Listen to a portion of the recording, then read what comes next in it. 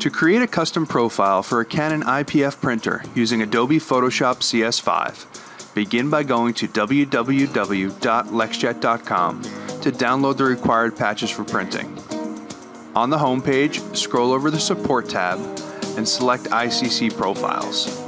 Then, open the Custom Profile Targets folder and download the individual patch layouts or patchlayoutall3.tiff.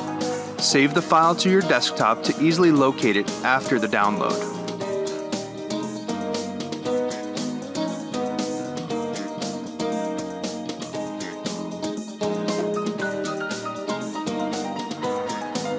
Next, open the downloaded file in Photoshop.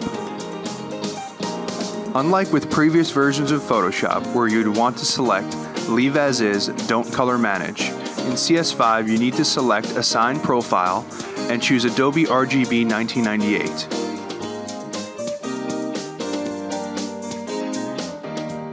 Then click OK.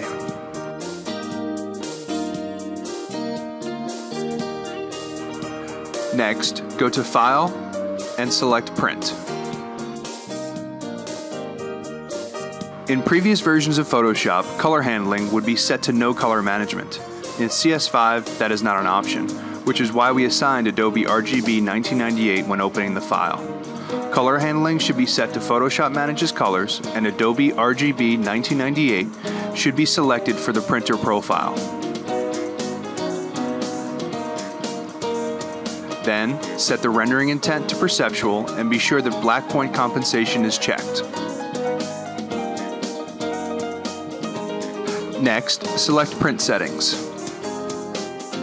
On the Main tab, be sure to select the media type that is closest to the paper that you are profiling, or a custom media type that was previously imported or created.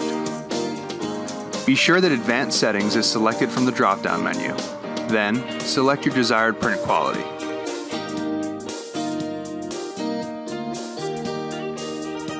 Be sure to set the color mode to no color correction.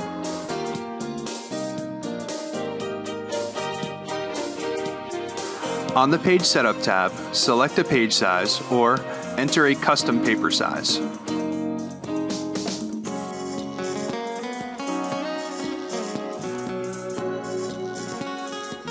You can also add a custom size by clicking on Size Options and adding it there.